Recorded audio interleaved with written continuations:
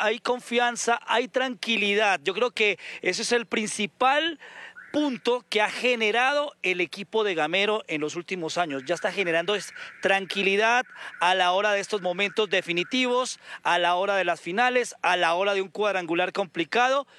El público está tranquilo porque confía, porque esto es un proceso.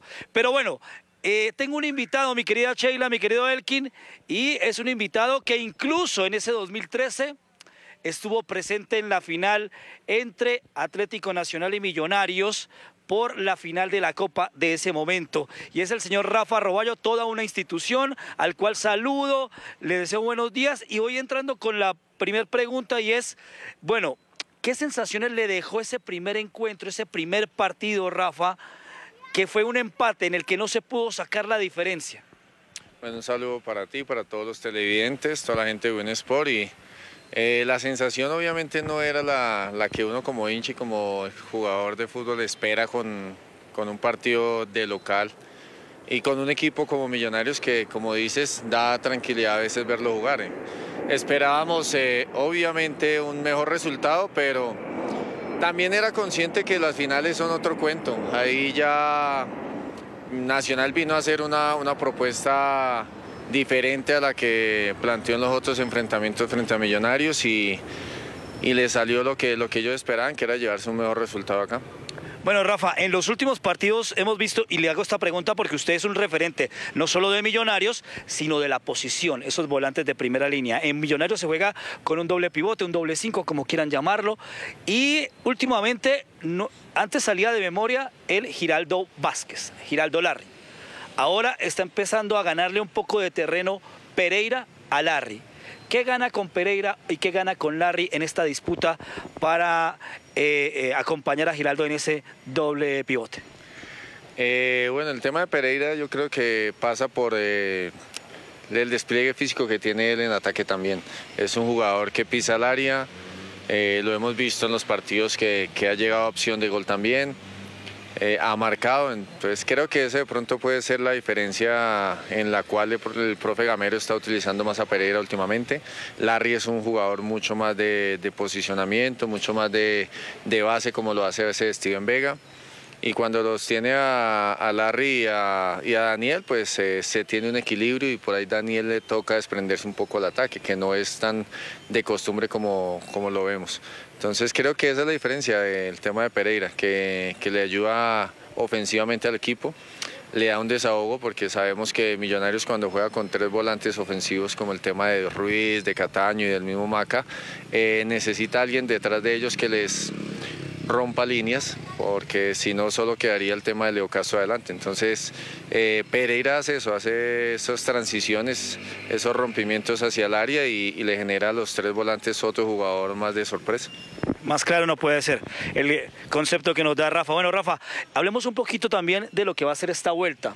Una vuelta, ustedes la tuvieron que sufrir en el 2013 porque para recordarle a la gente, el 2013 la final fue precisamente esta de Copa entre Nacional y Millonarios y fue al final victoria del equipo Atlético Nacional.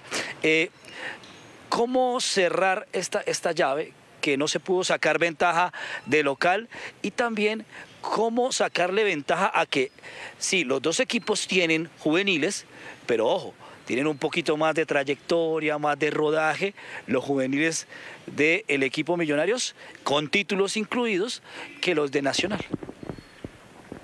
Si vemos los partidos recientes en Medellín, eh, ya tenemos una idea que Millonarios siempre sale a buscar eh, proponernos, siempre sale a buscar tener el balón.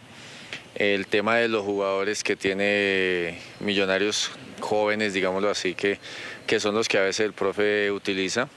En los últimos partidos eh, no se están utilizando, están entrando a la parte final, el equipo es un equipo más, más maduro eh, en cada posición y, eso hace que, que, Nacional obviamente tenga que vivir o sufrir un poco ese tema de ir a buscar a quitar el balón a Millonarios.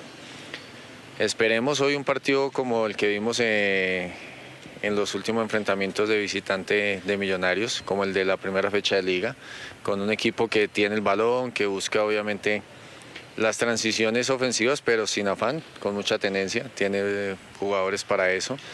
y quitarle por ahí esa, ese impulso que Nacional va a querer mostrar desde el inicio. Entonces va a ser un partido lindo porque todo el mundo sabe que es un clásico, que son finales, que son partidos que nadie quiere perder y que son dos equipos que vienen eh, en este año con una seguilla de juegos que, que genera también psicológicamente una, una presión extra para cada, para cada jugador. Rafa, una cortita. ¿Resultado y se, se anima a los penales o no? ¿O prefiere que se resuelvan en, en los 90? Eh, no, Millonarios hoy gana 2-1 en los 90. Yo creo que los penales no, no va a llegar en, en esta instancia de, de Copa.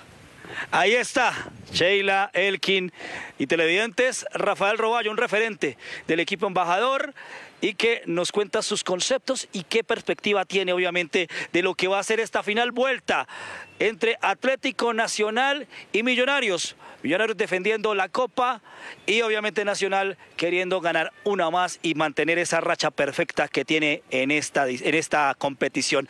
Mi querida Sheila, mi querido Elkin, continúen ustedes con más información. Gracias, Alexis. Bueno, Sheila, vamos cerrando este paso acá desde la ciudad de Medellín. Este primer paso.